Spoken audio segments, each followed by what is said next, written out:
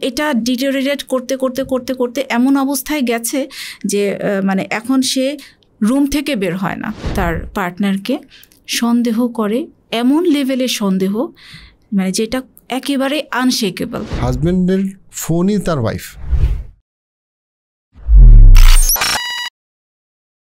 আসসালামু আলাইকুম psychiatrist doctor Rubaiyat Ferdous কেমন আছেন? ওয়ালাইকুম আসসালাম।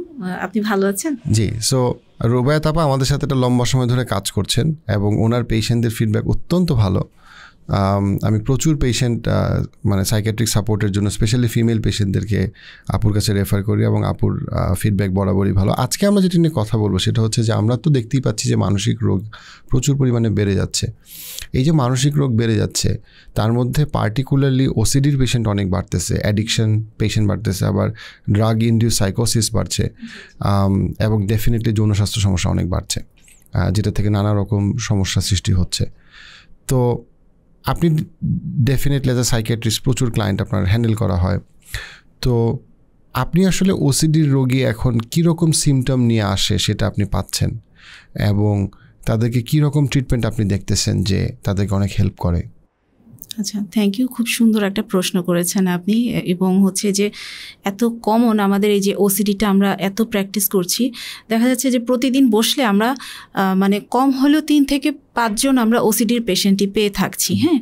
এবং বিশেষ করে ফিমেলদের ক্ষেত্রে হ্যাঁ এত ভ্যারিয়েশনস এত ভ্যারিয়েশনস মানে ওসিডি যে আসলে থিওরিটিক্যালি যে আমরা মানে ছয়টা থিম পড়ব হ্যাঁ এই কয়েকটা কন্টেন্ট থাকবে বিষয়টা আসলে কিন্তু প্র্যাকটিক্যালি আমরা কিন্তু ওরকম দেখি না। অনেক টাইপের ভ্যারিয়েশনস থাকে হ্যাঁ।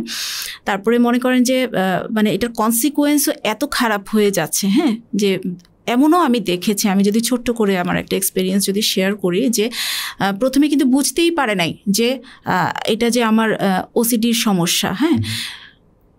এবং আস্তে আস্তে হয়েছে কি যে হাজব্যান্ডের এটা সমস্যা মানে সে ইয়ে করে সর্ট আউট করে, এটা সমস্যা, এটা ঘেন্না লাগে, এটা এভাবে করবে না ওভাবে করবে না, আমি যেভাবে রেখেছি ওভাবেই রাখতে হবে, আমি যেভাবে বলেছি ওইভাবেই বলতে হবে হ্যাঁ? এই রকমভাবে শুরু হতে হতে আস্তে আস্তে এটা মানে এমনভাবে এত বেশি ডিটেরিয়েট করল, একটা পর্যায়ে হলো কি যে সে হাজব্যান্ডকে তার বেড শেয়ার করতে দিচ্ছে না। প্রথমে হলো কি যে সে বেডশিটের উপরে আরেকটা বেডশিট সেপারেট করে রাখছে। হ্যাঁ যে তুমি এইটুকু অংশের মধ্যে তুমি থাকবে আমি এইটুকু অংশের মধ্যে থাকব। এরকমও হচ্ছে। মানে বিছানার ওই অংশ তোমার এই অংশ আমার হ্যাঁ। এরকমও হয়ে যাচ্ছে। মানে এটার কনসিকুয়েন্স যে এত খারাপ হচ্ছে, যে ফাংশনাল ইম্পেয়ারমেন্ট তো হচ্ছে মানে ইন্টারপার্সোনাল রিলেশনশিপটাও যে এত বেশি ইম্প্যাক্ট করে মানে এটা আসলে মানে না দেখলে আমি একটা রিসেন্টলি একটা ওসিডির পেশেন্ট দেখছি। এটা মানে মানে আমার অনেকদিন মনে থাকবে পেশেন্টটা সেটা হচ্ছে যে সো ভদ্রমহিলা হচ্ছে স্ত্রীর ওসিডি ওনার করোনা পরবর্তী সময় ওসিডি বেড়ে এখন এমন অবস্থা হয়েছে, corona germ and virus and all of that সে যদি শুনে সে যার সাথে কথা বল, তার স্বামী যার সাথে সে কথা বলতেছে, সে যদি কোনো হাসপাতালে যায়, তার স্বামী, এটা শোনা মাত্রই ওনাকে গোসল করতে হয়। সো হাজব্যান্ড গেছে ফোনে মানে সে যদি ফোনে শুনে যে সে সাথে কথা বলতেছে তা যার সাথে সে কথা বলছে, সে যদি কোনো হাসপাতালে যায়, সাথে সাথে ভদ্রমহিলা গোসল করে। তারপরে হচ্ছে কি যে যারা বাসায় আসবে, বাসায় আসার সাথে সাথে তাদেরকে গোসল, শাওয়ার নিতে হবে। আদারওয়াইজ মানে ভদ্রমহিলা রেগে যায়, ভদ্রমহিলা আতঙ্কিত হয়ে যায়, ভদ্রমহিলা ইন্টারাক্ট করে না এবং প্রচণ্ড পরিমাণে ভদ্রমহিলা হতাশ এবং বিষণ্ণ হয়ে যায়। শো করে। এবং আমি যদি আপনার ঘটনার সাথে আপনার এক্সপেরিয়েন্সটার সাথে যদি আমার একটা সিমিলার এক্সপেরিয়েন্স ছোট্ট করে যদি বলি যে এমন দেখেছি যে গ্র্যাজুয়ালি সে করল কি যে বাসার যে মেইন ডোরটা সেটার বাইরে একটা সিঙ্ক সে অ্যারেঞ্জ করল। যে আসবে তাকে হচ্ছে ওইখান থেকে হচ্ছে হাত মুখ ধুয়ে আসতে হবে। তারপরে আবার হলো কি ওটাতেও তার হচ্ছে না। ওইখানে সে হচ্ছে ইয়ে এনে কি বলে যে সিমেন্ট টিমেন্ট এগুলো এনে সে হচ্ছে আলাদা একটা স্পেস করল যে ওইখান থেকে তার হাজব্যান্ডকে শাওয়ার নিয়ে তারপরে আসতে হবে। দ্যাট ইজ বাহির থেকে এবং পাড়া প্রতিবেশী যে দেখছে এটাতে সে আসলে বিশেষটা ইয়ে কাউন্টি করছে না যে না হলে তো তার প্রচণ্ড লেভেলের তার ডিস্ট্রেস হয়। হুম। আমি যদি আর একটা এক্সাম্পল বলি এমন ফিমেল পেশেন্ট এরকম আছে যে সে তার দুই তিনটা জব সে লিভ করেছে। হ্যাঁ তার কি সমস্যা? সে ফিমেলদেরকে যখন সে নিজে ফিমেল সে যখন ফিমেলদেরকে শাড়ি পরা অবস্থায় যখন দেখে তখন তার প্রাইভেট পার্টের দিকে চোখ চলে যায়। হুম এবং এটা সে কোনোভাবেই কন্ট্রোল করতে পারে না। হ্যাঁ কন্ট্রোল করতে পারে তো না, এবং এটা দেখা যায় কি যে সিমটমটা ওসিডির বেসিক যে সিমটমগুলো এরকমই হয় যে যেটা নিয়ে তার আসলে তার প্রবলেমটা ওসিডির প্রবলেমটা ওইটা সে রিপিটেডলি করবে। হ্যাঁ তো এই ফিম এই যে পেশেন্টটা সে রিপিটেডলি হচ্ছে প্রাইভেট পার্টের দিকে তাকাচ্ছে, আবার সে না দেখা পর্যন্ত তার প্রচণ্ড লেভেলের ডিস্ট্রেস হয়। হ্যাঁ এবং যখন দেখে সাময়িকের জন্য তার ভালো লাগে, তারপরে আবার গিলটি ফিল করে। হ্যাঁ আবার গিলটি ফিল করে। তাহলে এইটার কনসিকুয়েন্সও দেখা যায় কি যে অনেক রকমের হয়ে যায়। হ্যাঁ ডিপ্রেশন তো খুব কমন একটা কনসিকুয়েন্স ইভেন সাইকোটিক ফিচার নিয়েও কিন্তু ওসিডির পেশেন্টরা আমাদের কাছে প্রেজেন্ট করে হ্যাঁ। আমার এটা মনে পড়ল যে এটা কিন্তু ছেলেদের মধ্যে অনেকের হয়। ছেলেদের যখন ওসি মানে কিছু কিছু ছেলেদের ওসিডির পেশেন্টের ক্ষেত্রে দেখা যাচ্ছে যে একটা সতেরো আঠেরো বছরের ছেলে দেখে মানে মানে সে কখনোই পর্ন অ্যাডিক্টেড ছিল না। সে কখনোই মিথ্যা কথা বলে না। বা বাবা মাও কখনো তাকে মানে সেটা ভদ্র, ভালো ছেলে একাডেমিক্যালি ভালো রেজাল্ট করা ছেলে। কিন্তু সে সুইসাইডাল হয়ে যাচ্ছে, আত্মহত্যা করতে চায়, নিজেকে ঘৃণা করে। আসসালামু আলাইকুম। আলম আহমেদ সিলেটের শাহজালাল উচ্চ বিশ্ববিদ্যালয়ে পড়ার সময় তার একটা মর্মান্তিক সড়ক দুর্ঘটনা ঘটে, যেখানে তার কোমরের দুটো হাড় ভেঙে যায়। মাত্র ছয় লক্ষ টাকার জন্য তার চিকিৎসা আটকে আছে। যে চিকিৎসা না হলে হয়তো সে কখনোই ঠিকভাবে হাঁটতে পারবে না। আমি পাঁচ হাজার টাকা ডোনেট করছি এবং আমি আপনাদের কাছে আবেদন করছি যে আপনারাও তাকে সাহায্য করুন। তার ছবি এবং তার ডিটেল ডিসক্রিপশন উপরে দেওয়া আছে। বসলাম কেন? কারণ সে বলতেছে যে আমি যে কোনো কারোর দিকে তাকাইলে, ছেলেদের বা মেয়েদের দিকে তাকাইলে আমি তার অশ্লীলভাবে তাকাই। হ্যাঁ আমি অশ্লীলভাবে তাকাই বা অশালীনভাবে তাকাই। তো এবং এটাই তার মানে এটা সে বুঝতেছে না কিন্তু সে বলছে সে মনে করছে, নিশ্চয়ই আমার চরিত্র খারাপ না আমি তাকাবো কেমনে? এবং সে বলছে যে, আমি তো আমার একটা বন্ধুর সাথে শেয়ার করছি, আমার বন্ধু বলছে, তোর তো চরিত্র খারাপ। হ্যাঁ তুই তো ইউনো তোর চরিত্র খারাপ, তাহলে তুই সবার দিকে, খারাপ দিকে তাকাবি কেন? তো আবার সে আরেক বন্ধুকে বলছে, সে বলছে যে, না, তুই তো খারাপ দিকে তাকাস না, তুই কেন মনে করস? কিন্তু সে বলছে না, আমি খারাপ দিকে তাকাই। মিসগাইডেড হয়। কারণ আশেপাশের সোসাইটিতে এটা বুঝতে বুঝে না যে ওসিডি আসলে একটা রোগ এটা মানসিক রোগ। তারা তো মনে করে নিশ্চয়ই ওর চরিত্র খারাপ বা নিশ্চয়ই ওর কোনো সমস্যা। জাজমেন্টাল ওয়েতে একটা ক্যাটাগরিতে ফেলে দেয় হ্যাঁ যে এরকম বাট ছেলেটা কিন্তু তাকাতে চাচ্ছে না। সে যাকেই দেখতেছে সে বলতেছে যে আমি আপনার দিকে তাকাইলে আমার খারাপ দিকে চোখ চলে যাচ্ছে। আমি তাকে বলছি আপনার খারাপ দিকে চোখ যায় নাই হয়তো। বলছে না না আমি খারাপ দিকে তাকাইছি তার মানে আমি খারাপ। এবং আমি যেহেতু খারাপ এবং আমি এতটাই খারাপ যেটা আমি নিয়ন্ত্রণ করতে পারি না, সেহেতু আমার ধ্বংস অনিবার্য, আমার বেঁচে থেকে লাভ নেই। কারণ আমার তো কোনো নিয়ন্ত্রণ নাই, আমার খারাপ, আমি তো নিজেকে খারাপ থেকে বের করতে পারতেছি না। এখানে আবার আরেকটা প্রবলেম চলে আসে কিন্তু হচ্ছে, আমি বলব যে একটা ভুল রকম ধর্মে বিশ্বাস। মানে যে দেখা যাচ্ছে সে একটা ইমামের কাছে গেল, কথার কথা। বা টিপিক্যালি বেশিরভাগ ইমাম দেখা যাচ্ছে যে বলে ফেলল যে ও আপনার তো জিনের আসর তো একটা আছেই। তারপরে যেটা সেটা হচ্ছে আপনার তো তবা করতে হবে। হ্যাঁ এবং তবা করতে হবে প্লাস হচ্ছে গিয়ে যে আপনার তবা কবুল হয়েছে এটা আপনি তখনই বুঝবেন যখন আপনি দেখবেন যে আপনি আর তাকাইতেছেন না। তার আগ পর্যন্ত আপনার তবা কবুল হয় না এবং বিভিন্ন রকমের ডিস্ট্রেস হওয়ার মতো এত রিচুয়ালস তার মধ্যে ঢুকিয়ে দেয় হ্যাঁ? যে ওইটাও তার জন্য আলাদা একটা স্ট্রেস তৈরি হয়। যে এইটাই আমি এই রিচুয়ালটাকে আমি ঠিকমতো পারফর্ম করতে পারব কি না যখন থেকে যে পারছে না ওই আপার হ্যান্ড নিচ্ছে তো তার আসলে নিউরো ট্রান্সমিটার তার ব্রেইনের যে কেমিক্যালগুলো দেয় হ্যাঁ? ওইটাই কিন্তু আপার হ্যান্ড নিচ্ছে সে যে পারছে না ওইটাও তার জন্য কিন্তু একটা এক্সট্রা একটা স্ট্রেস যে আমি কেন পারছি না হ্যাঁ? তখন আরও বেশি ডিপ্রেসড হয়ে যায়। ডিমোরালাইজড হয়ে যায়। আমি সবসময় ক্লায়েন্টদেরকে একটা জিনিস বলি, যখন ক্লায়েন্টরা বলে যে, আমি তো মনে হয় জিনে আক্রান্ত নাকি মানসিক রোগী? আমার কাছে মনে এটা একটা খুব সহজভাবে চিন্তা করা যেটা, সেটা হচ্ছে যে আপনি যদি ধর্মীয় বিষয়ের জায়গা থেকে আপনি মনে করেন যে, আপনি জিন দ্বারা আক্রান্ত বা কালো জাদু দ্বারা আক্রান্ত দেন আপনি একজন নির্ভরযোগ্য আলেমের কাছে গিয়ে রুকিয়া করেন, সেটা আপনার ধর্মীয় বিশ্বাসের জায়গা। But at the same time আপনার ধর্মীয় বিশ্বাস বা ইসলাম তো আপনাকে মেডিকেল সায়েন্সকে অগ্রাহ্য করতে বলে নাই। সো মেডিকেল সায়েন্স থেকে আমরা যে ট্রিটমেন্টটা জানি যে কাউন্সিলিংটা জানি বা প্রয়োজন পড়লে যে সাইকিয়াট্রিক মেডিকেশনটা জানি সেটা আপনি নেন। সো যেমন আপনার যদি জ্বর হয় আপনি প্যারাসিটামল খাচ্ছেন আবার আল্লাহকে বিশ্বাস করতেছেন দোয়া করতেছেন কোনটাকে আপনি কন মানে কোনো কন্ট্রাডিক্টরি মনে করতেছেন না। শারীরিক অসুস্থতার ক্ষেত্রে আপনি হাসপাতালে যাচ্ছেন, হাসপাতালে গিয়ে নামাজও পড়তেছেন, কোনো সমস্যা নেই। সেম ওয়েতে মানসিক রোগের ক্ষেত্রে আপনার এটা চিন্তা করার দরকার নেই যে ইদার অর আমি এইটা করলে ওইটা করব না, ওইটা করলে এইটা করব না, দরকার নাই। অ্যাজ লং এজ আপনি কোনো ভণ্ড পীরের কাছে যাচ্ছেন না, আবার আপনি কোনো ভণ্ড সাইকেট্রিস্টের কাছে যাচ্ছেন না ইউ শুড বি গুড যে এখানে আমার একটা ধর্ম আর বিজ্ঞানের মধ্যে আমার একটা সত্যতা তৈরি করার কোনো প্রয়োজন নাই। তো ডেফিনেটলি মেডিকেল সায়েন্স আপনাকে পজিশনের কথা মানে জিন পজিশনের কথা বলবে না। আবার জিন পজিশনের যারা রকি, তারা সাইকিয়াট্রি সাইকোলজিস্ট না। বাট দ্যাটস ফাইন আপনি আপনার মতো, আপনার সামর্থ্য, জ্ঞান অনুযায়ী আপনি ট্রিটমেন্ট নেন। অ্যান্ড এবং এমন না যে লেটস একটা সাইকিয়াট্রিস্টের প্রেসক্রাইবড অ্যান্টিসাইকোটিক ড্রাগস অথবা সাইকোলজিস্টের কগনিটিভ বিহেভিয়ার থেরাপি বাধাগ্রস্ত হবে পিওরলি বিকজ আপনি কোনো একটা লেটসে আপনি আয়াতুল কুরসি পড়ছেন হ্যাঁ? বা লেটসে আপনি সুরা বাকারা পড়তেছেন। এটার জন্য মানে এটার সাথে এটার কোনো কোনো সংঘাত নাই। সো আপনি আপনার ধর্মীয় বিশ্বাসকেও সম্মান করতে পারেন এবং আপনি প্রয়োজন অনুযায়ী সাইকিয়াট্রিক এবং সাইকোলজিক্যাল সাপোর্ট নিতে পারেন। এই জায়গাটাতে আসলে ফোকাস করাটা খুব প্রয়োজন হ্যাঁ? এইটার জন্য কিন্তু এই যে যেটা আপনি বলেন যে তারা নিজেকে অ্যাসাইড করে ফেলে যে আমরা তো এই টাইপের আমরা ট্র্যাডিশনাল হিলারের কাছে গিয়েছি হ্যাঁ? আমরা এই টাইপ অফ আমরা হেল্প তো আমরা নিচ্ছি, দেখি না কি হয়, দেখি না কি হয় হ্যাঁ?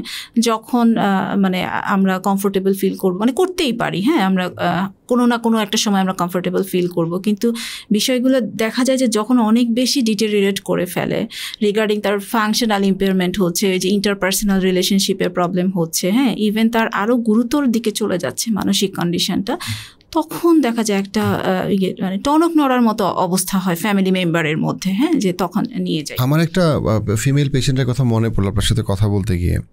ভদ্রমহিলার বয়স সম্মত তেইশ ছিল। ছদ্মনাম, একটা ছদ্মনাম চিন্তা করি, নীলা। তো নীলার যেটা, সেটা হচ্ছে গিয়ে যে, এবং ফ্যামিলির কেউ খুব ইন্টারেস্ট অনেক বছর ধরে ভদ্রমহিলা সাফার করতেছে, প্রায় তিন, চার বছর ধরে। কেউ এটাকে ওসিডি তাকে বলে নাই কখনো। ভদ্রমহিলার প্রবলেমটা কি? ভদ্রমহিলার প্রবলেম হচ্ছে যে, একটা সময় ভদ্রমহিলা ধর্ম ব্যাপারে সিরিয়াস হয়। ভালো কথা সিরিয়াস হইল। এখন যখন সে সিরিয়াস হয়েছে তখন যে হুজুর তাকে পড়াইছে সেই হুজুর তাকে নেকআপ পড়তে বলছে। ফাইন সে নেকআপ পরতো। দেন একটা সময় গিয়ে তার কাছে নেকআপ পরাটা একটু আনকমফোর্টেবল মনে হইতো সে আরেক হুজুরের কাছে গেছে। সে বলছে তোমার নেকআপ পরা যদি খুব বেশি আনকমফোর্টেবল হয়, তুমি নেকআপ ছাড়া পরো বাট মানে হিজাবের বাকি অংশগুলো তুমি পালন করো। ফাইন শুরু হইল।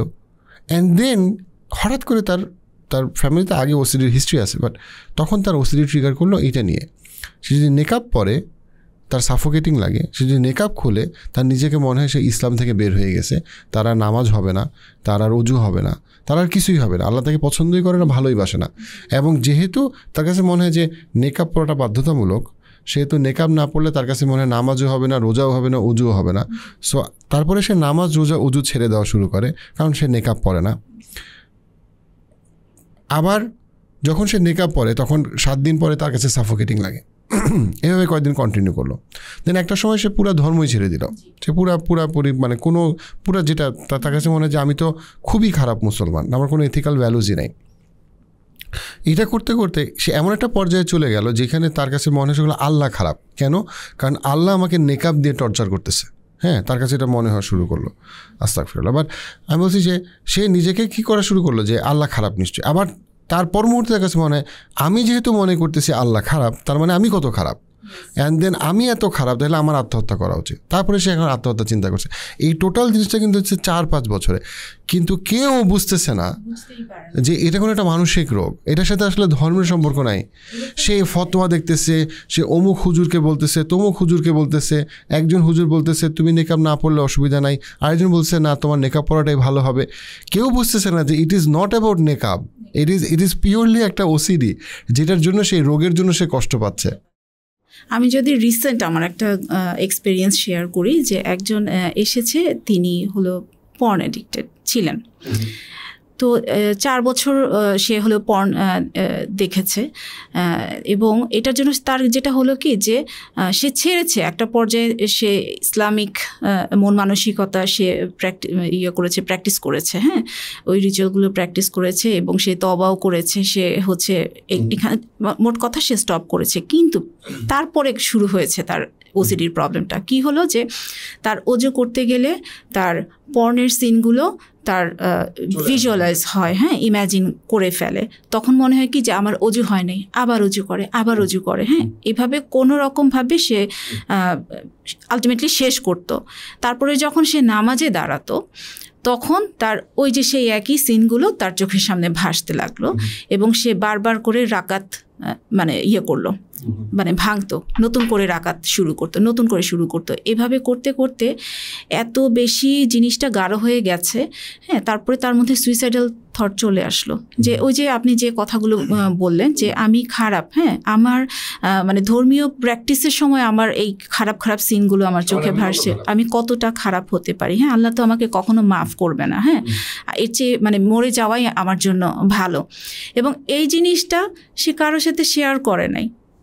এবং এটা ডিটোরিয়েট করতে করতে করতে করতে এমন অবস্থায় গেছে যে মানে এখন সে রুম থেকে বের হয় না।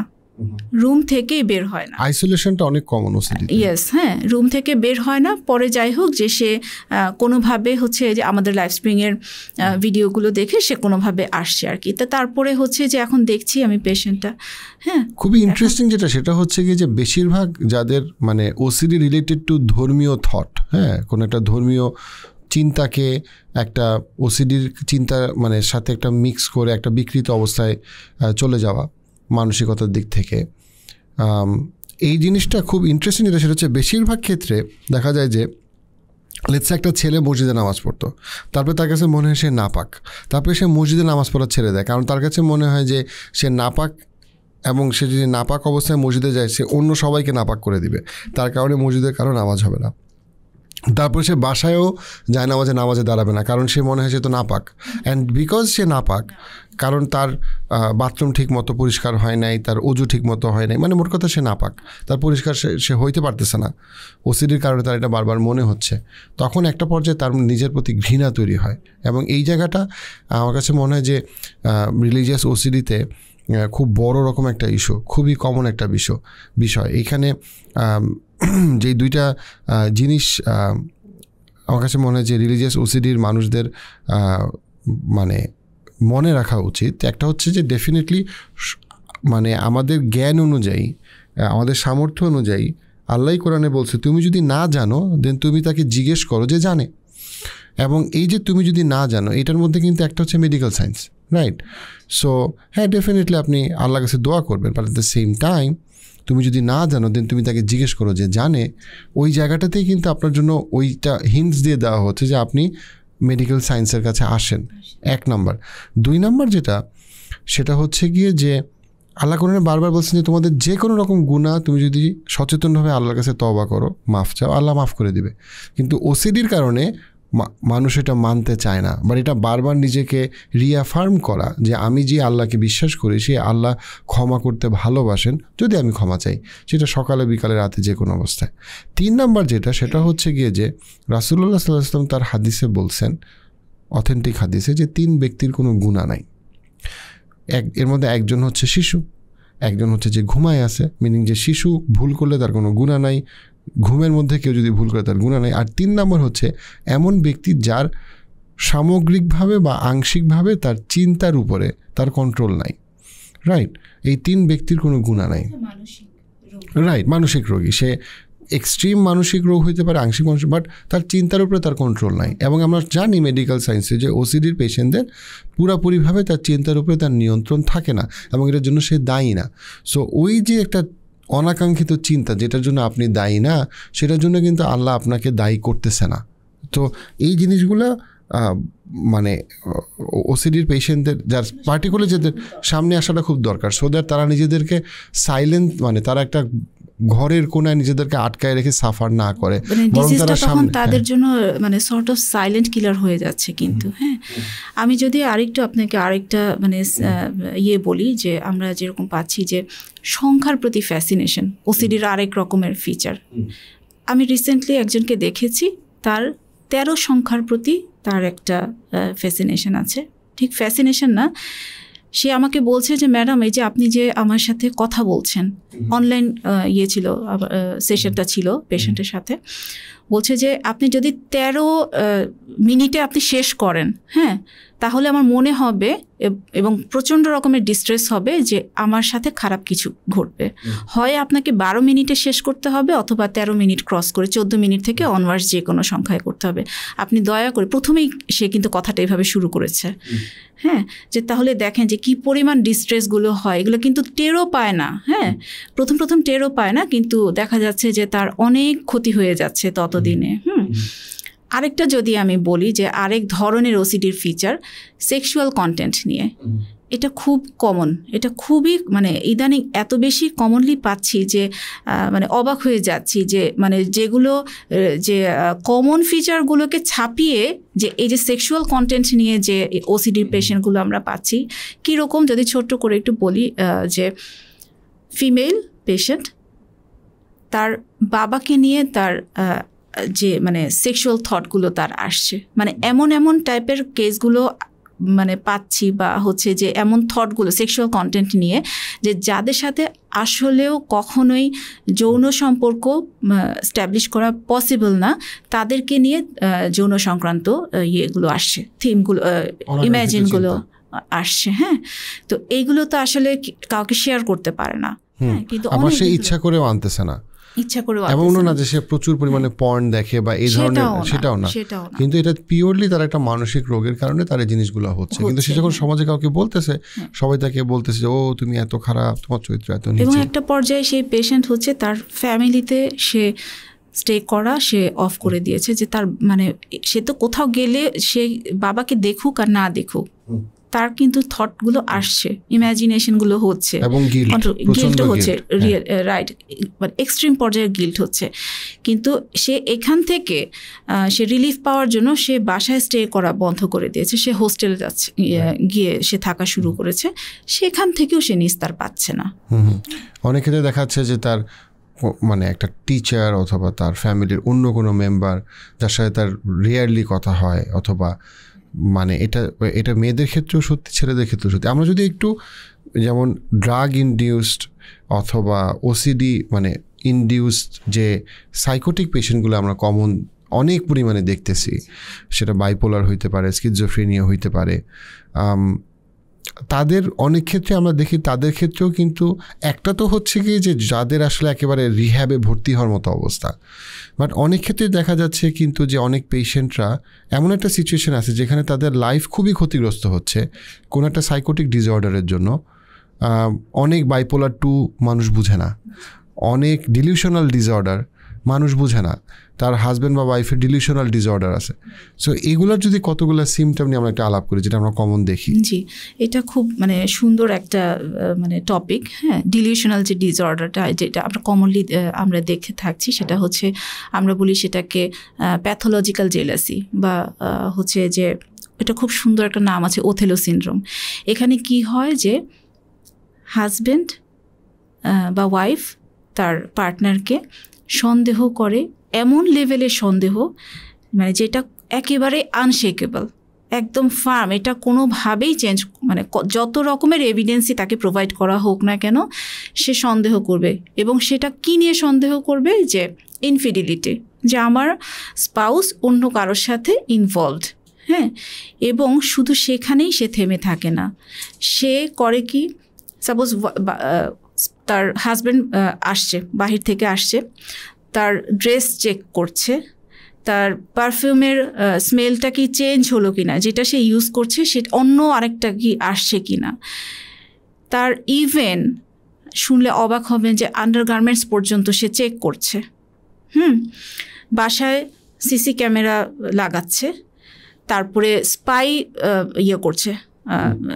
প্রোভাইড করছে হ্যাঁ স্পাই রাখছে যে আর ফোন তো মনে করেন ফোন তো আছেই দশ ফোন- বছর আগের এসএমএস চেক হ্যাঁ, হ্যাঁ, করতেছে। হ্যাঁ, আমি এরকম অনেক। দেখছি যে দশ বছর আগের মেসেঞ্জারে কনভারসেশন নিয়ে মানে মানে ভীষণ মানে। মানে একটা গবেষণা তো দিয়ে তো শুরু হয় একটা ইস্যু দিয়ে শুরু হয় কিন্তু সেটা গাঢ় হতে হতে এমন হয় হ্যাঁ তবে এরকমও আছে।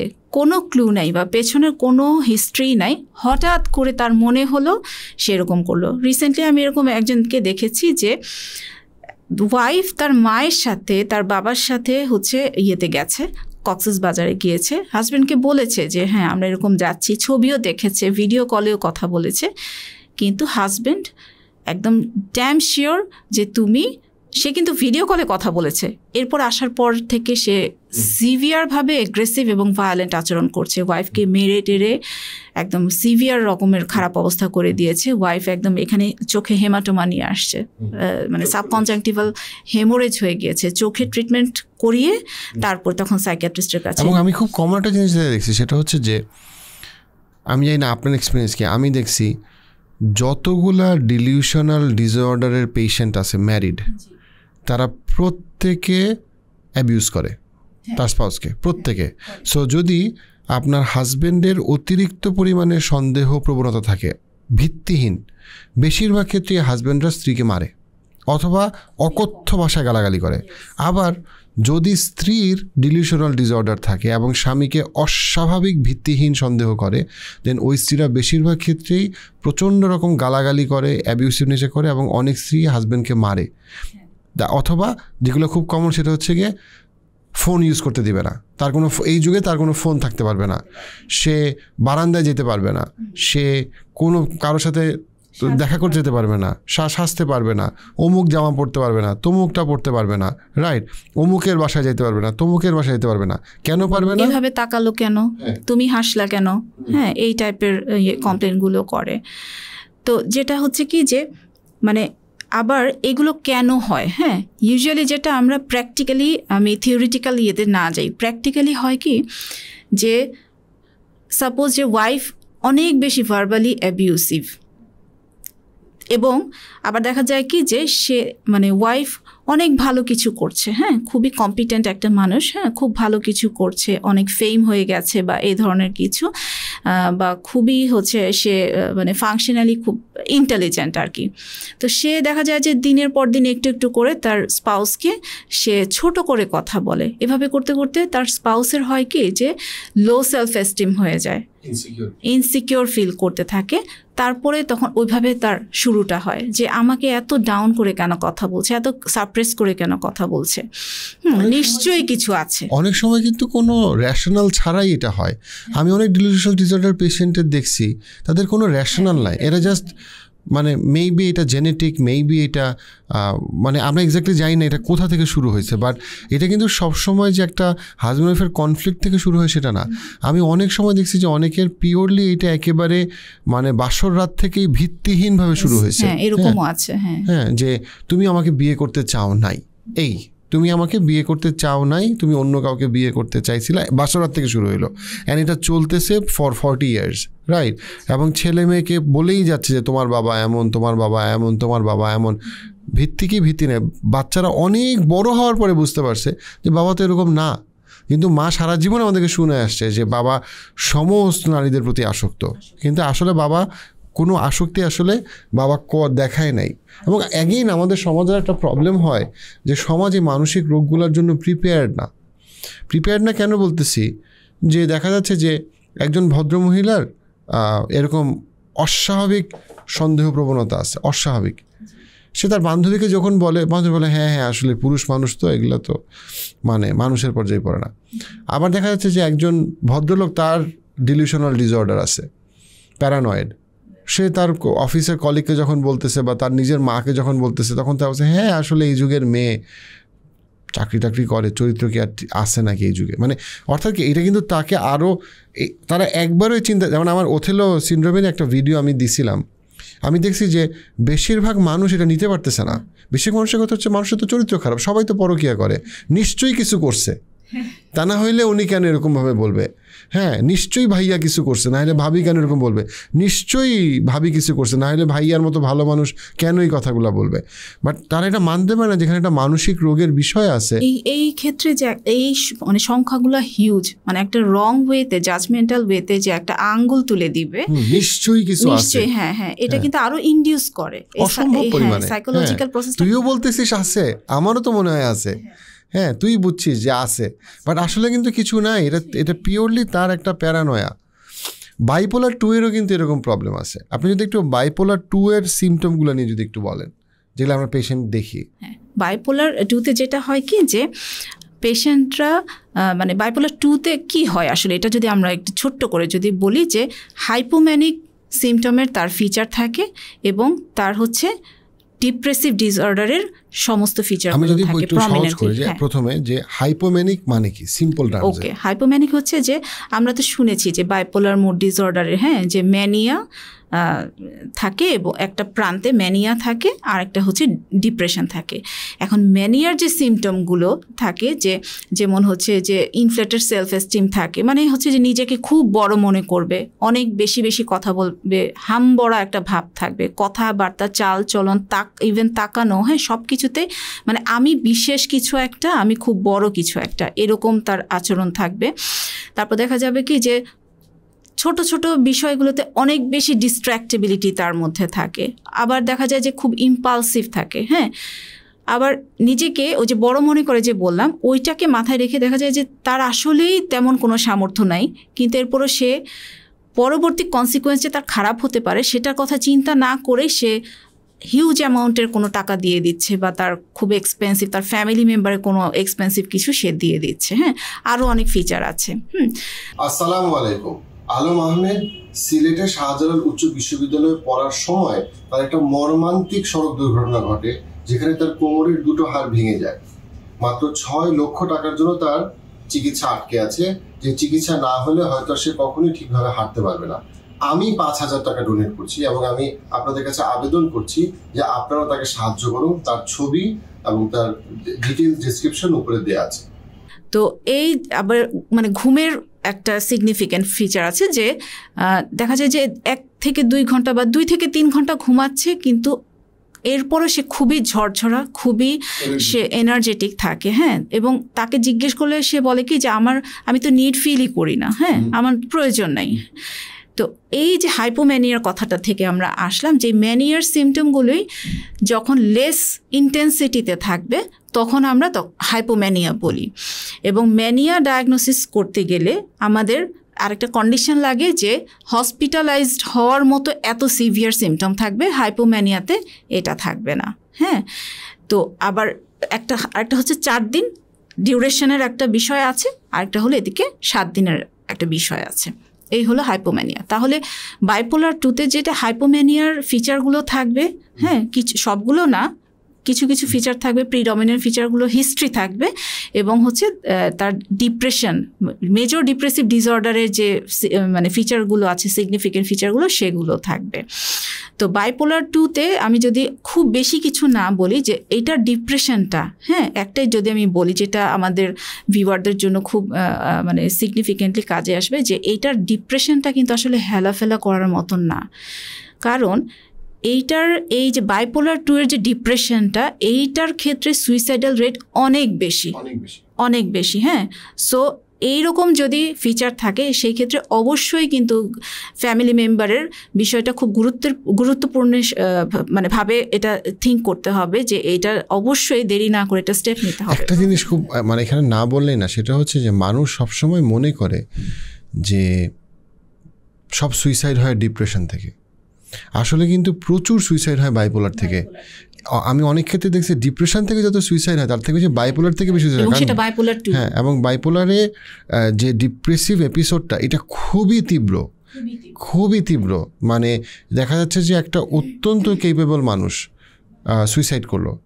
এবং তাকে সুইসাইড করার ছয় মাস আগে দেখলে কেউ বিশ্বাস করতে পারবে না তার জীবনে কোনো ডিপ্রেশন ছিল। ওই যে দেখা যায় কি যে বলে যে কয়েকদিন আগেই তো খুব উৎফুল্ল ছিল। এত হাসি খুশি ছেলেটা এত হাসি খুশি মেয়েটা হ্যাঁ ঘুরে বেড়াতো সাজগোজ করতো হ্যাঁ হুট করে কি হলো যে সুইসাইড করে ফেলল বা সুইসাইডাল অ্যাটেম্পট নিল হ্যাঁ এই আর কি। এবং এটা বাইপোলার টু এর যে সিমটমগুলো সেই সিমটমগুলো মানুষকে আরও বেশি কনফিউজ করে আমার কাছে মনে হয় বিকজ তারা অনেক সময়ই খুব অ্যাক্টিভ থাকে। তারা দেখা যাচ্ছে যে ভালো স্টুডেন্ট বা তারা দেখা যাচ্ছে যে খুবই স্পোর্টি বিভিন্ন সম্পর্ক করতেছে খুবই চার্মিং কথা সুন্দর বলে ইউনো অনেক ক্ষেত্রে অ্যানালিটিক্যাল এবিলিটি খুবই ভালো কগনিটিভ এবিলিটি খুবই ভালো। তো তারপরে হঠাৎ করে তারা দেখা যাচ্ছে যে কীরকম যেন নিজেকে নিজে গুম করে ফেলে। হ্যাঁ, একদম মানে চার থেকে ছয় মাস সে নাই সে কিছু করতে পারতেছে না বিছনা থেকে উঠতে পারতেছে না। দেখা যাচ্ছে যে এক মাস সে অনেক কথা বলতেছে অনেক এনার্জেটিক হ্যাঁ একটা সময় তার এনার্জির কোনো শেষ নাই। হ্যাঁ কথা বলতেছে, কখনো কখনো খুব সহজে রেগে যাচ্ছে, নিজেকে আঘাত করতেছে, অন্যকে আঘাত করতেছে, গালাগালি করতেছে মানে সুপার অ্যাক্টিভ অ্যান্ড দেন তারপরে হঠাৎ করে দেখাচ্ছে তিন মাস, চার মাস অ্যাজ ইফ তার জীবনে কিছুই নাই জীবনে কোনো মানে নাই জীবনে কেউ তাকে কোনো কিছু দেয়ই নাই। এবং সেই সময়টা একটা পর্যায়ে হয় কি যে আনট্রিটেড যদি থাকে প্রফেশনাল হেল্প নিল না এটাকে রেখে দিল যে এটা ঠিক আছে ঠিক হয়ে যাবে। তারপরে হচ্ছে যে ট্র্যাডিশনাল হিলারদের কাছে যাচ্ছে বা অন্যভাবে ম্যানেজ করছে। কিন্তু এটা যত ডিউরেশন দিন গড়াতে থাকে হ্যাঁ ভয়ঙ্কর হতে থাকে এবং ইন্টে একদিকে হচ্ছে যে একটা পোল থেকে আরেকটা পোলে যেতে কিন্তু সুইচ করতে কিন্তু দেখা যাচ্ছে যে মানে ফ্রিকোয়েন্সিটা বেড়ে যাচ্ছে গ্যাপটা কমে যাচ্ছে আর কি। খুব র্যাপিডলি চেঞ্জ হচ্ছে পোলগুলো। আবার এদিকে ইন্টেন্সিটিটাও বাড়তে থাকে। আমার কাছে মনে হয় যে বাইপোলার টু এর আরেকটা যেটা মানে বড় প্রবলেম সেটা হচ্ছে গিয়ে যে জাস্ট বিকজ তারা সোসাইটির অনেক সময় খুব ভালো পজিশনে থাকে, মানুষজন অনেক ক্ষেত্রেই খুব তাদেরকে নিয়ে তাদের যে কোনো মানসিক সমস্যা থাকতে পারে তারা ভাবেই না। আর বাইপোলারের রোগীদের মধ্যে প্রচুর পরিমাণে ডিনায়াল থাকে। দেখা যাচ্ছে যে যখন একটু ডিপ্রেসিভ তখন দেখা যাচ্ছে যে কিছু ওষুধ খাচ্ছে যখন একটু ভালো সে আর কিছু খাচ্ছে না। আমার আমার লাগবে না। এবং তারপরে তার অবস্থাটা আরও খারাপ হচ্ছে। আর মানে আরেকটা জিনিস খুব কমনলি বলে যে আমি তো সবই করতে পারছি হ্যাঁ তাহলে আমি কেন মেডিসিন খাব? বা আমি কেন ট্রিটমেন্ট নিব? হ্যাঁ আমি তো সবই করতে পারছি বরং আমি আরও ভালো করতে পারছি। আমি সব যেটা আমি হাত দিচ্ছি সেটাই আমি ভালো করছি। হ্যাঁ। এখানে মানে মানুষের অনেক সময় হচ্ছে যে সাইকিয়াট্রিক ড্রাগের ব্যাপারে মানুষের যে ধারণাটা ধারণাটা অনেক ক্ষেত্রে খুব ক্ষতিকর। কারণ হ্যাঁ ঠিক আছে যে কোনো কোনো ক্ষেত্রে কিছু কিছু সাইকিয়াট্রিক সাইকিয়াট্রিস্ট অতিরিক্ত ওষুধ দিতে পারে, কিন্তু অ্যাট দ্য সেম টাইম সঠিক সময় পরিমিত পরিমাণ সাইকিয়াট্রিক ড্রাগ অ্যাবসলুটলি জীবন বাঁচাইতে পারে। অ্যাবসলিউটলি এবং এটা হচ্ছে যে ওই যে বললাম যে স্টিগমাটাইজড হয়ে আছে একটা মানে ওয়াইড রেঞ্জ অফ পিপল হ্যাঁ? যে ওষুধ খাওয়া যাবে না হ্যাঁ? বা ওষুধ, একবার ওষুধ খেলে সারা জীবন কন্টিনিউ করতে হবে হ্যাঁ? বা ওষুধ খেলে দেখা যাবে যে যতটুকু না সমস্যা আছে তার চেয়ে বেশি বেড়ে যেতে পারে হ্যাঁ? এটা খুব মানে গ্রেট একটা ইম্প্যাক্ট ফেলে এই ক্ষেত্রে হ্যাঁ? আমি আমি ইউটিউবে দেখি, খুব কমন মানুষজন লেখে যে, আরে, ওনাদের কাছে গেলে কি হবে? এক গাদা ওষুধ দিবে, ওই ওষুধ দিয়ে সমস্যা আরও বাড়বে। কিন্তু ভাই, আপনি কিসের জন্য বলতেছেন? ধরেন, একটা মানুষ তার স্কিজোফ্রেনিয়া বাইপোলার আছে। তো তাকে যদি অ্যান্টিসাইকোটিক ড্রাগ না দেওয়া হয় সাইকিয়াট্রিস্ট না দেয় তো তার সে যদি সুইসাইড করে আপনি কি তার দায় নেবেন? একটা কথা আছে না যে কাটা দিয়ে কাটা তোলার মতো বিষয়টা যে এখানে ক্লিন কাট ডায়াগনোস যে এটা মেজর সাইকিয়াট্রিক ডিসঅর্ডার হ্যাঁ? এটা একটা সাইকোটিক প্রবলেম কি হয় এখানে? খুব লাইটলি যদি বলি যে ব্রেইনের যে রাসায়নিক দ্রব্যগুলো আছে নিউরোকেমিক্যালগুলো আছে বা নিউরো ট্রান্সমিটারগুলো সেগুলোর তারতম্য হচ্ছে। যে এক একটা রোগের নির্দিষ্ট যে রাসায়নিক দ্রব্যগুলো, সেগুলোর তারতম্য হচ্ছে, সেইটাই তো সহজ হিসাব যদি আমরা বলি কেমিক্যাল দিয়েই আমরা কেমিক্যালকে ব্যালেন্স করছি। আর তো কিছু না। কিন্তু এই যে স্টিগমাটাইজড হয়ে আছে পিপল তারা মনে করে কি যে তাদের কন্ডিশন আরও খারাপ করে দিচ্ছে। এবং তারা একটা ওভার জেনারেলাইজ করে তার মানে সব সাইকিয়াট্রিস্টই অতিরিক্ত ওষুধ দেয় সব সাইকিয়াট্রিস্ট মানে আজ পৃথিবীর সমস্ত সাইকের সাথে সে কথা বলছে। হ্যাঁ হ্যাঁ কোনো একটা সাইকিয়াট্রিস্টের কাছে তাকে হয়তো বা কোনো একটা কন্ডিশনে অন্য কাউকে হয়তো বা দেখেছে যে তার কন্ডিশন খুব খারাপ ছিল তাকে তখন প্রয়োজন হয়েছে বলে তাকে অনেকগুলো মেডিকেশন দেওয়া হয়েছে। কিন্তু ওই যে ওই ওইখানেই সে হচ্ছে স্টাক হয়েছে যে না সাইকেট সাইকিয়াট্রিস্টদের কাছে গেলেই এবং আমার কাছে মনে হয় যে এইটাও আমাদের প্রমোট করাটা খুব দরকার যে সবসময় খালি এইটাই প্রমোটেড হয় যে অনেক বছর ধরে ওষুধ খাচ্ছে, কোনো লাভ হচ্ছে না। কিন্তু হোয়াট অ্যাবাউট এত হাজার হাজার মানুষ যারা ওষুধ খেয়ে ভালো হয়ে গেছে? হ্যাঁ? মানে হ্যাঁ আপনি, আমি বুঝতে পারলাম যে আপনি একটা, দুইটা মানুষের কথা বলতেছেন। যাদের হয়তো বা ট্রিটমেন্টটা ঠিক মতো হয় নাই হইতে পারে একটা সাইকিয়াট্রিস্ট মানুষে ভুল করতে পারে। কিন্তু এটা যে আপনি ওভার জেনারেলাইজ করতেছেন যে লক্ষ লক্ষ মানুষ হাজার বছর ধরে ওষুধ খাচ্ছে কোনো লাভ হচ্ছে না এটাতে যে ভীষণ ক্ষতি হয়। যেমন পার্টিকুলারলি যারা সাইকোটিক রোগের যারা পেশেন্ট তাদের যদি ওষুধ না দেওয়া হয় তাহলে তারা ভীষণ ভীষণ বিপদে পড়বে। বিপদে পড়ে যাবে এবং এটা গবেষণাও কিন্তু এরকম আসছে যদিও জিনিসগুলো আসলে বাহিরে বের হচ্ছে না হ্যাঁ? যে যারা আমরা প্রফেশনালরা এই ইয়েতে আছি। হ্যাঁ এই লাইনে আছি আমরা কিন্তু বিষয়টা জানি। হ্যাঁ বা আদান প্রদান হয় ইনফরমেশনগুলো কিন্তু জেনারেল পিপল কিন্তু এই জিনিসগুলো জানে না যে হ্যাঁ ট্রিটমেন্ট নিচ্ছে কিন্তু একটা মানে বড় জেনারেশন বা বড় পার্সেন্টেজই কিন্তু আসলে বেনিফিটেড হচ্ছে।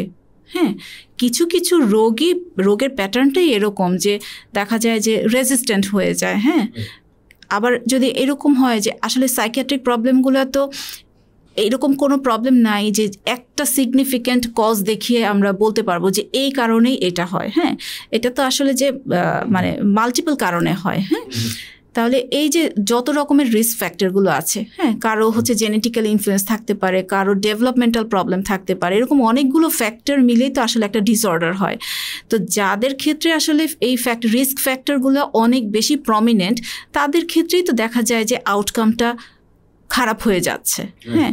তো এই জিনিসটা তখন আসলে পিপলটা পিপলরা বুঝে না যে ওই যে ওভার জেনারেলাইজ করে ফেলে যে হ্যাঁ মানে ওষুধ খেয়ে আসলে লাভ হয় না। হ্যাঁ কিন্তু আসলে যে একটা বিশাল সংখ্যক মানুষ যে বেনিফিটেড হচ্ছে এটা কিন্তু অ্যাকাউন্টেবিলিটির মধ্যে আসলে নেয় না। আপনার আমরা যদি একটু আরেকটা ডাইমেনশনে আসি যে প্রচুর পরিমাণে আমরা যৌন স্বাস্থ্য সমস্যা নিয়ে পুরুষ এবং নারীদেরকে আমরা আসতে দেখতেছি।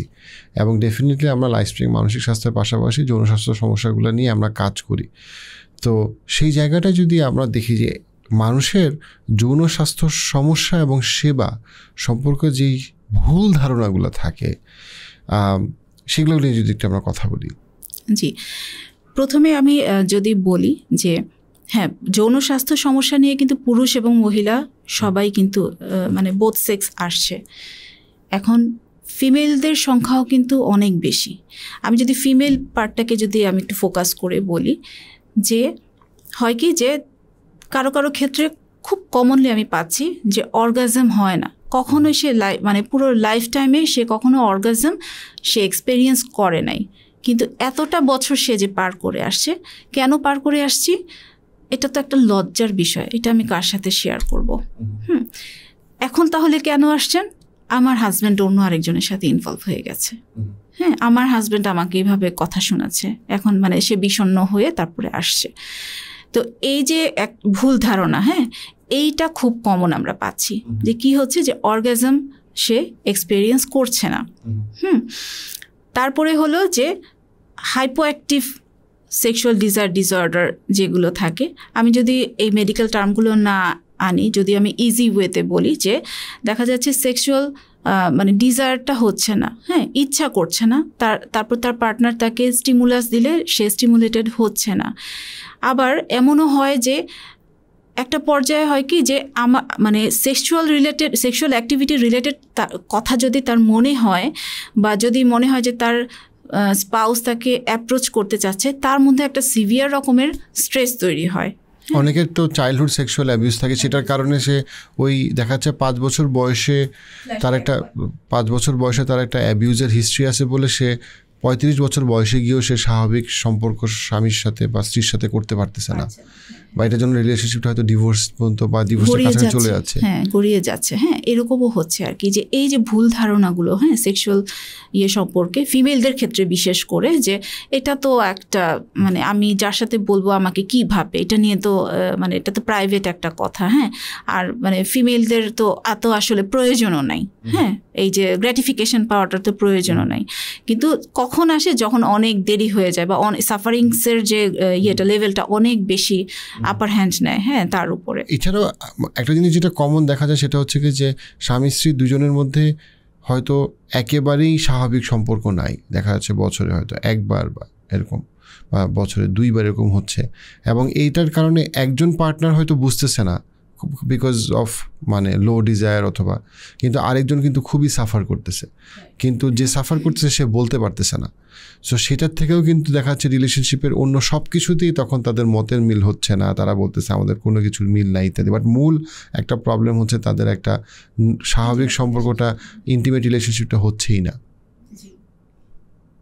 সো এটাও কিন্তু দেখা যাচ্ছে যে অনেক যেমন মানে ছেলেদের ক্ষেত্রেও যেমন প্রিম্যাচিউর ইজ্যাকুলেশন খুবই common performance anxiety erectile dysfunction এই জিনিসগুলো খুবই কমন খুবই কমন যেটার কারণে অনেক মানুষ সাফার করছে। স্বাভাবিক শারীরিক সম্পর্ক হচ্ছে না যেটার কারণে তাদের রিলেশনশিপ খুবই সাফার করছে এই ক্ষেত্রে মানে আমি যদি আন্ডারলাইন কজ হিসেবে যদি ক্লিনিক্যাল এক্সপেরিয়েন্স দিয়ে আমি যদি বলতে চাই পার্সোনালিটি ডিসঅর্ডার একটা পাচ্ছি কমন আর একটা হচ্ছে পর্ন এডিকশন মেলদের ক্ষেত্রে যেটা দেখছি যে এত বেশি পর্ন এডিকশন পর্ন এডিকশনের কেস হ্যাঁ? এবং এটার কনসিকুয়েন্স হিসেবে ওই যে প্রিম্যাচুর ইজাকুলেশন এগুলো তো হচ্ছে এবং মাইন্ডটা বা ব্রেনটা এমনভাবে ডাইভার্ট হয়ে যায় হ্যাঁ সাইকোলজিটা যে পর্নে যেটা দেখছে হ্যাঁ সে ওই জায়গাতে তার পার্টনারকে সে এক্সপেক্ট করছে।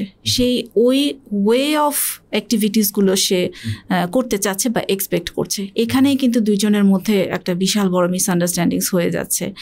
আবার অনেকে দেখা যাচ্ছে কি যে মানে বিনাইনগুলো থেকে শুরু করে তারপরে ভালগারগুলো হ্যাঁ এক্সট্রিমে চলে যাচ্ছে।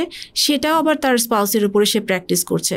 তখন ওয়াইফটা বা স্পাউসটা মানে একটা হাউমাউ করে একটা মানে কান্না করার অবস্থা হ্যাঁ? বলে যে আমি তো এটা এক্সপেক্ট কখনো করি নাই। আমি তো এটা ডিজার্ভও করি না আমি এক্সপেক্ট করি নাই। হ্যাঁ এত পেইনফুল ওয়েতে কেন একটা ইন্টিমেট রিলেশনশিপ আরেকটা এক্সট্রিমও কিন্তু আছে। আরেকটা এক্সট্রিম হচ্ছে যেটা আমি আরও বেশি দেখি ছেলেদের মধ্যে।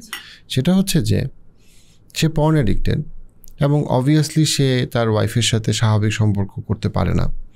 কারণ সে যেটা দেখে যেটা তাকে স্টিমুলেট করে ভার্সেস তার ওয়াইফ যা, সেটা কোনোভাবে মিলবে না, মিলার কথাও না। তো সে দেখা যাচ্ছে, সে আগেই ওয়াইফকে বলতেছে, থাক, আমি বিছানা আলাদা করে ফেলি। তুমি তোমার মতো ঘুম আমি তোর মতো ঘুমাই। এবং সে মাস্টারবেশনের মাধ্যমে তার জীবন পার করতেছে। এবং ওয়াইফ চিন্তা করছে, কি কি, ওর কি কোনো আগ্রহ নেই? আমি কি দেখতে খারাপ পা কী সমস্যা? দেখা যাচ্ছে যে হাজব্যান্ড কখনোই ওয়াইফকে অ্যাপ্রোচ করে না। ইভেন হাজব্যান্ড অপছন্দ করে ওয়াইফের সাথে ঘুমাইতে। কারণ হাজব্যান্ডের ফোনই তার ওয়াইফ আমি যদি ওইভাবে বলি। সো এবং এটা ছেলেদের মধ্যে একটা ভয়ঙ্কর সমস্যা যে ছেলেরা এখন আর কোনো মেয়েকেই পছন্দ করে না। মানে কারণটা হচ্ছে যে তার ওই ফোনই তার ফোনই তার বন্ধু। কারণ সে জানে সে পারফর্ম করতে পারবে না। সে জানে যে সে অলরেডি এবং করতে চাইলেও দেখাচ্ছে আমি এরকম কয়েকটা ছেলেকে দেখছি যারা তার ওয়াইফের সাথে কোনো সম্পর্ক নাই। প্রতিদিন সে ফোন ইউজ করে পর্ন মাস্টারবেশন এই সাইকেলে আসে এবং তারা ওয়েট করে কখন তারা কোনো একটা মাসাজ পার্লারে যাবে, কবে তারা ব্রোথেলে যাবে। কিন্তু কারণ তারা জানে তাদের প্রিম্যাচুর ইজেকুলেশন আছে ইলেকট্রিক্যাল ডিসফাংশন আছে পারফরমেন্স সবই আছে তার। সো সে তার ওয়াইফের কাছে লজ্জিত হইতে চায় না কারণ সে জানে যে সে তার নিজেরকে একরকম ক্ষয় করে ফেলছে যে ক্ষয়ের চক্র থেকে সে আবার বের হইতে রাজি না। যদি অনেক ক্ষেত্রে এই সমস্যাগুলো সমাধানযোগ্য। হ্যাঁ এবং সে ওয়াইফকে বোঝাতে চায় না যে আমার মধ্যে একটা ঘাটতি আছে হ্যাঁ? মানে সামহাও এখানে এবং সে বিশ্বাস করে না যে সেটা থেকে বের হয়ে আসতে পারে। সো এই জায়গাটাতে আপনার আমরা একটা মানে হেলদি সেক্স লাইফ বা সুস্থ যৌন সম্পর্ক নামে একটা কোর্স আমরা তৈরি করছি লাইফ স্প্রিং থেকে রিসেন্টলি এবং যেখানে doctor Sushma Reza doctor Milan doctor Shahedul Ashraf এবং আমারও অল্প কিছু কন্ট্রিবিউশন আছে এবং এই কোর্সটা এদের জন্য, এটা অ্যানোনিমাসলিও করা যায় কোর্সটা সো আপনাদের অডিয়েন্সের মধ্যে যে কারও যদি কোনো যৌনস্বাস্থ্য সমস্যা থাকে, একটা তো হচ্ছে ডেফিনেটলি আপনি প্রফেশনালদের কাছে অবশ্যই আসতে পারেন but at the same time আমরা কনফিডেন্টলি বলতে পারি যে আমরা যা কিছু শিখছি যেটা উপকারী রোগীদের জন্য, সেগুলো আমরা এই কোর্সের মধ্যে নিয়ে আসছি এবং ডেফিনেটলি আপনি অ্যানোনিমাসলি এই কোর্সটাতে জয়েন করতে পারবেন অনলাইনে এবং এটা আপনাদের হয়তো সংসারটাকে বাঁচাই দিতে পারে। হয়তো আপনার আপনার আপনি এবং আপনার সন্তান অসম্ভব সুন্দর একটা ভবিষ্যৎ পাইতে পারে। সিম্পলি যদি আপনি কোর্সের জিনিসগুলো আপনি যদি প্র্যাকটিস করেন। কারণ আপনাদের এই শারীরিক সম্পর্কের কারণে সম্পর্কের যে ভাঙন তার কারণে স্বামী স্ত্রী এবং সন্তান সবাই সাফার এক্স্যাক্টলি এটা আসলে খুব প্রয়োজনীয় একটা কোর্স ছিল। আমি বলব যেমন আমি এরকম যখন আমি পেশেন্ট দেখি যে আসলে তাদের সেক্স থেরাপি দরকার হ্যাঁ? অনেক ফিমেল পার্টনার কিন্তু বলে কি আমি আবার কি রোল প্লে করব? মানে আমার এখানে কি দায়িত্ব আছে? মানে আমি তো প্যাসিভ পার্টনার হ্যাঁ? তো এই জিনিসটাও কিন্তু আই ওপেনিং হওয়ার দরকার আছে হ্যাঁ? তো এই যে কোর্সটা আসলে আই থিঙ্ক যে একটা বেনিফিটেড একটা কিছু হবে। সো থ্যাংক ইউ আপা আপনার আজকে সময়ের জন্য। আপনি চমৎকার কাজ করে যাচ্ছেন এবং হোপফুলি আমরা একসাথে আরও অনেক কাজ করার সুযোগ পাবো। Thank you so much